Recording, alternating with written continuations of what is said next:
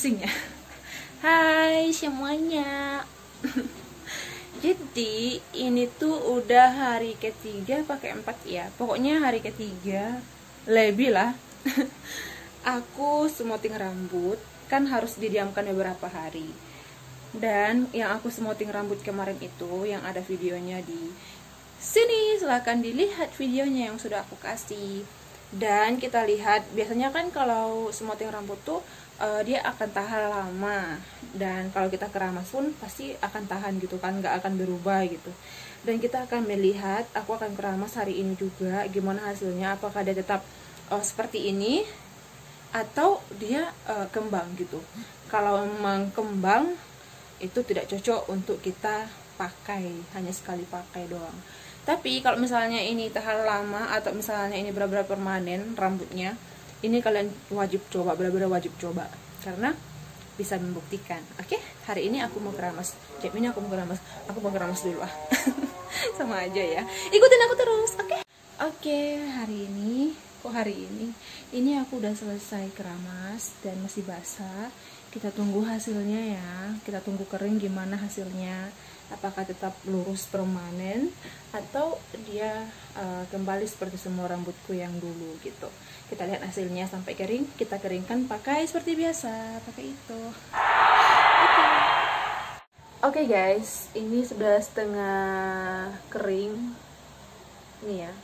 Dan nggak ada nampak kembali-kembali jadi kayaknya ini memang permanen banget ya.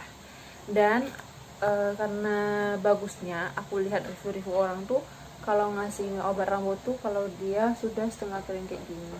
Dan aku pakai silkoro ini silkoro ini ya harganya tuh aku belinya di tokonya langsung 19.000 doang.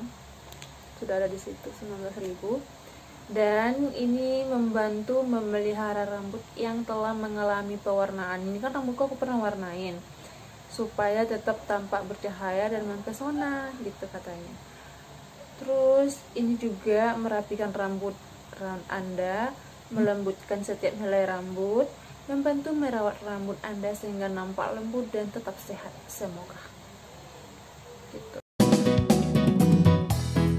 Dem Saga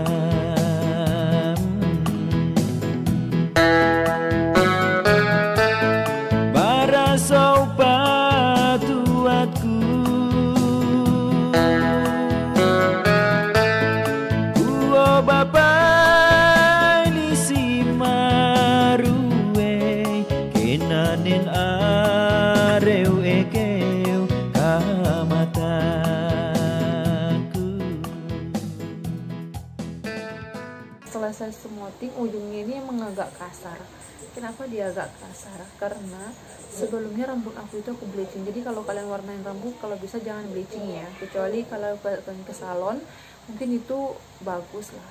Tapi kalau bleaching yang dibeli berapa ribuan gitu tuh kalau rambut aku sendiri tuh rusak. Jadi aku nyaranin kalau rambut kalian yang tipis sekali ini ya lidi-lidinya tipis sekali tuh mending jangan pakai bleaching deh pakai Garnier atau apa gitu.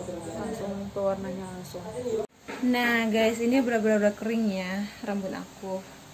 Dan menurut aku ini oke okay banget. Jadi kalian harus wajib coba ya. Soalnya ini benar-benar mantap banget.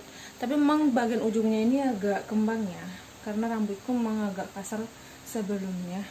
Jadi mungkin nggak terlalu banyak obatnya juga aku kasih di bawah dan nggak terlalu uh, aku catok jadi kayak rambut asli aja gitu dibuatnya. Kalau misalnya kalian mau buat sendiri itu lebih bagus. Soalnya kan kayak kalian sem suhunya itu kalian yang atur gitu.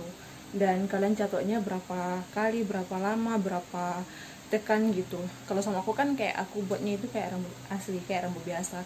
Kalau smoothing biasa itu kan kalau di salon benar-benar nampak kali di ini kan ditekan ya. Jadi nampak kali benar-benar lurusnya gitu pokoknya kalian wajib coba deh ini benar-benar bagus banget aku suka banget tuh yang dulunya di sini tuh benar-benar kering banget ya tapi sekarang enggak cantik kan oke okay, sekian dari video aku semoga informasi ini boleh benar-benar uh, bermanfaat buat kalian dan jangan lupa like, comment, and subscribe. Eh, biasa lah orang bilang.